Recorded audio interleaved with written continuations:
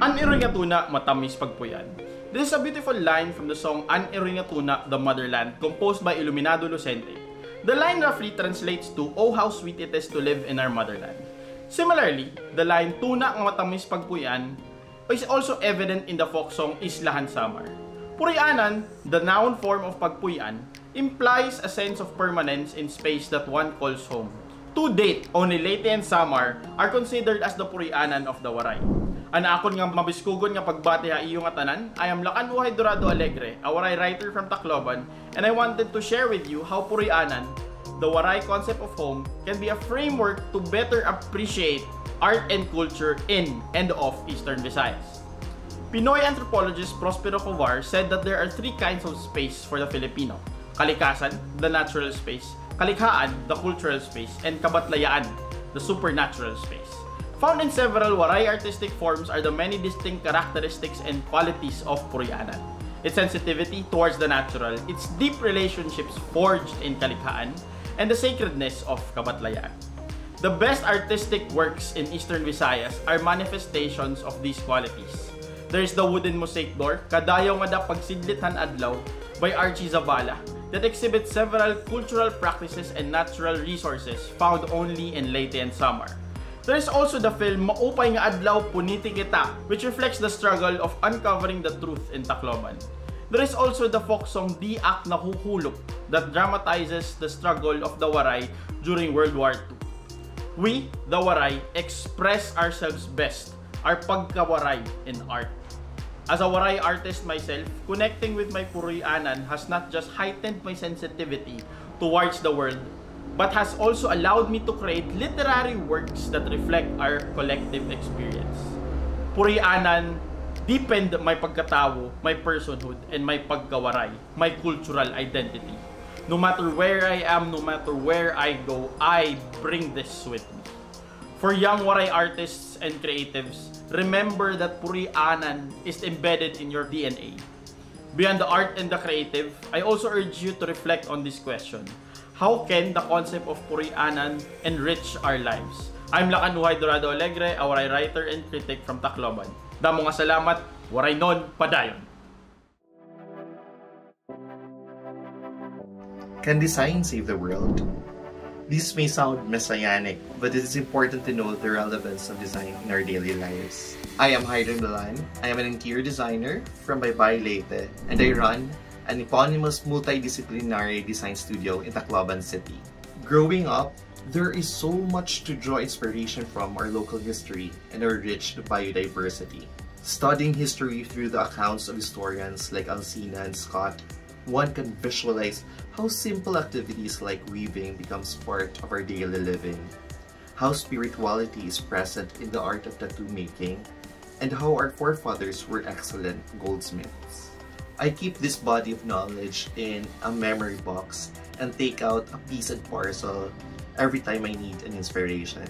I use these inspirations to form a strong cultural identity and interpret these forms into a modern context for global appeal.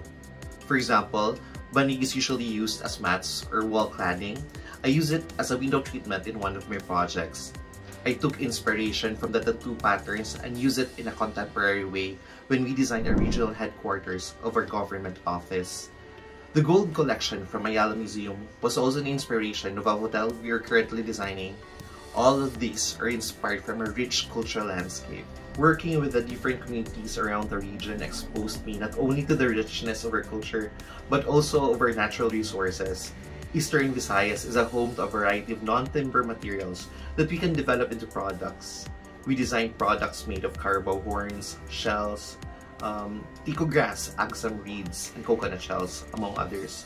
We have developed a style that is strongly Filipino but with a global appeal. Winning Metrobank Art and Design Excellence in 2010 opened a lot of doors for me as a young designer. It became a platform for my advocacy in sustainable design. In 2013, the construction industry in Tacloban was gaining momentum when Haiyan came and ravaged the region. I have seen so many lives and property lost to climate change.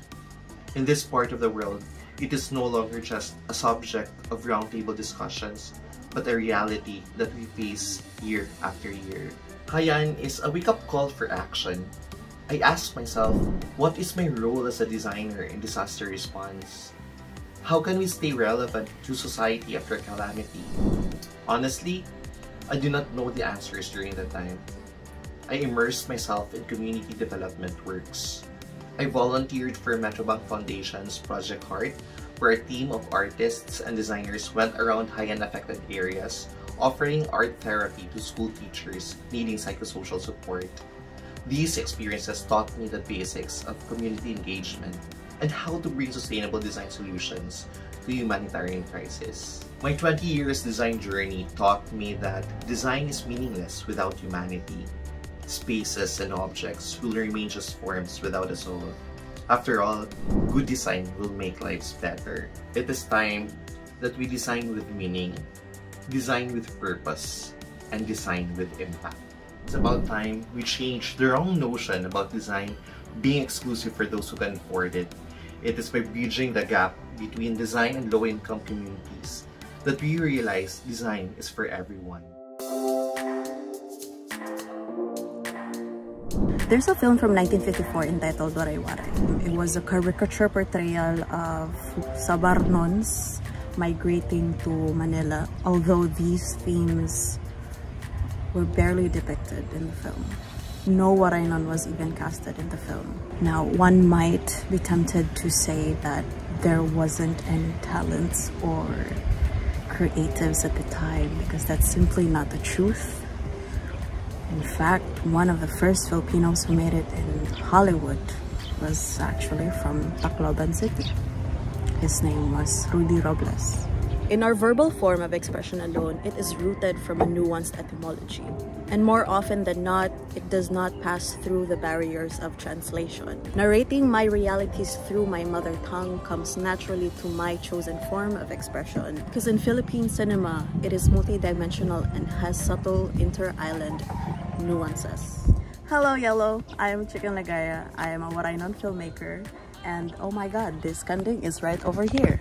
In the ripe year of the pandemic of 2020, I gave birth to the film Nyawa Mauliolina. It was part of an omnibus film entitled Age of Light. At the time, I was a fresh graduate and I was doing some soul-eating office job and I was enclosed in four walls. If you've seen the film, you could literally hear how I was not okay. Um, I was in my highest anxieties and deepest depression, knowing that my friends and family were in all forms of risks and I was stuck in my four walls. The way that the system manages us like numbers, it's a reflection of how they deprive us of our humanity. And when the system acts like so, our nuanced experiences are frequently mistranslated to the dominant platforms. I'd like to conclude circling back to the film Waray. You see, I'd like to consider that film as an indicator, as an indicator that Waray narratives has always been there and has always been deserving of being expressed. Now, I think this is the best time to do it because there are also much more inclusive spaces in order to express, to express our regionality. I refuse to be a mispronounced fact. I refuse to be just a number in the news of calamities. Because the nuances of my experiences matter and they deserve to be in the dominant platform. They deserve to be expressed and to be out there. The realities of our ancestral domain are the mirrors of our archipelago. We start internalizing our existence by expressing through our mother tongue.